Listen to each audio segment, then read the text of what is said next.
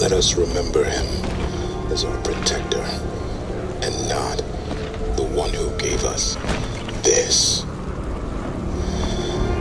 As our savior, and not our betrayer. Let us see him forever As you, and not as you.